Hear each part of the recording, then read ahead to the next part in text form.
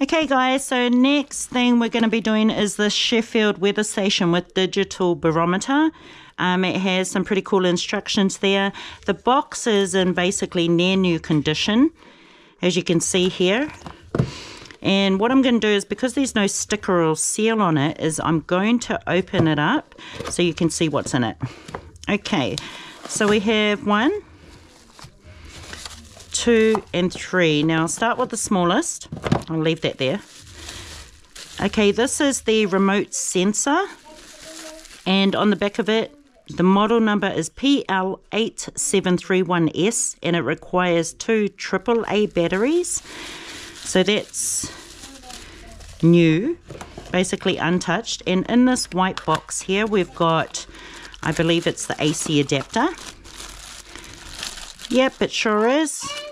Nicely packaged in this box. I'm not going to pull it out too much because the new owner won't like that too much, will they?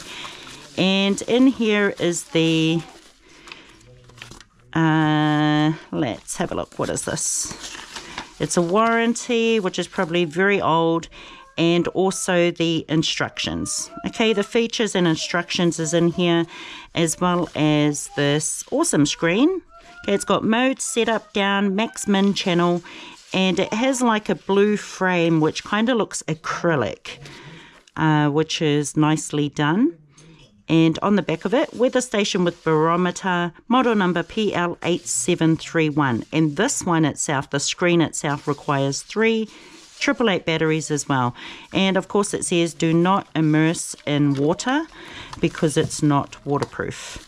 So I'm just going to package that all back up. Um, this will definitely be selling to somebody who can use it or whether a trader knows its values or a collector um, knows definitely knows its value so that um, it can go to the right hands for somebody who can use this, which will be super helpful because we definitely don't, but um, definitely on the saleable, saleable side.